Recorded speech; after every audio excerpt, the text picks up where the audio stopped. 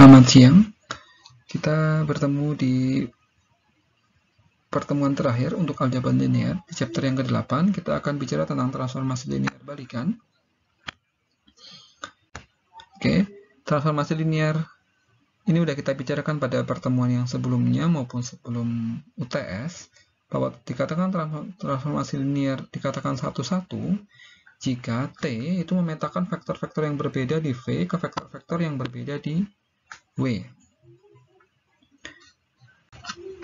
Maka teoremanya berlaku misalkan T titik 2V menuju W itu merupakan transformasi linear, maka pernyataan berikut menjadi ekuivalen.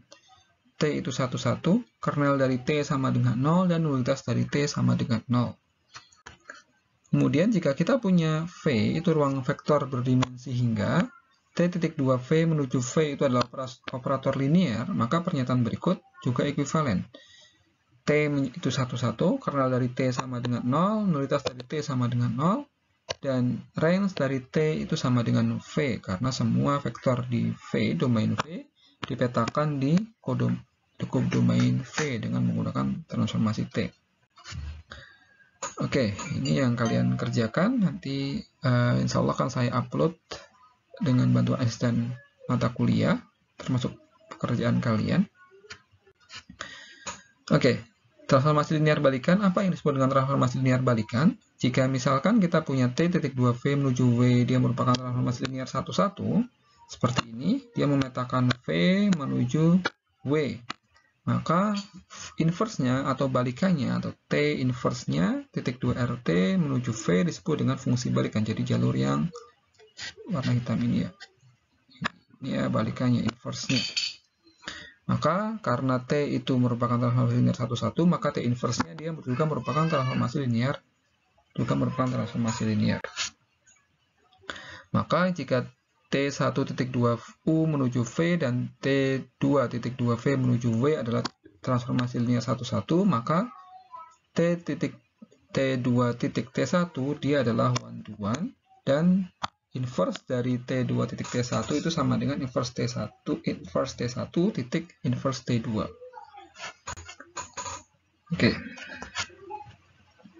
Okay. Contoh soal, jika R3 itu adalah uh, operator linear yang didefinisikan dengan formula hmm, bentar ya saya hapus dulu ini bisa apa nggak bisa dihapus saya ternyata tidak bisa dihapus catatan saya sebelumnya jika t titik 2 r di domain R3 menuju R3 adalah linear operator yang didefinisikan dengan formula ini t x1, x2, x3 sama dengan 3x1 plus x2 min 2x1 min 4x2 plus 3x3, 5x1 plus 4x2, min 2x3, maka tunjukkan bahwa T adalah one to one. Jika, jika iya, maka tentukan inverse dari T untuk x1, x2, dan x3.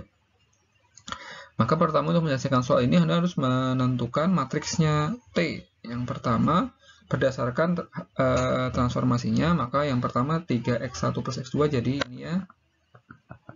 Ini x1 bar, uh, kolom ini x1 kolom yang ini x2 kolom yang ini x3 berarti yang dari pertama cuma ada x1 sama x2 maka dimasukkan ke kolom pertama dan kolom kedua untuk yang kedua min 2x1 min 4x2 plus 3x3 ada semua jadi min 2 min 4 3 dan 5x1 4x2 min 2 setelah itu kita cari inverse-nya.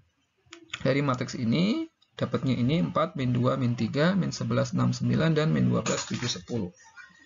Maka inverse dari transformasi x1, x2, x3 kita bisa nyatakan dengan menggunakan matriks inverse-nya. Jadi kita bisa susun seperti ini, T inverse dalam kurung x1, x2, x3 adalah ini. Maka kita masukkan matriks inverse-nya dikali dengan x1, x2, x3 kita dapat ini. 4x1 min 2x2 min 3x3 min 11x1 plus 6x2 plus 9x3 dan min 12x1 plus 7x2 plus 10x3.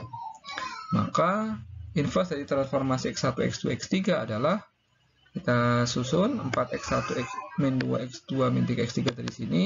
Kemudian min 11x1 plus 6x2 plus 9x3 dari sini. Dan min 12x1 plus 7x2 plus 10x3 ada di sini. Oke, itu mungkin untuk yang materi yang pertama di transformasi balikan.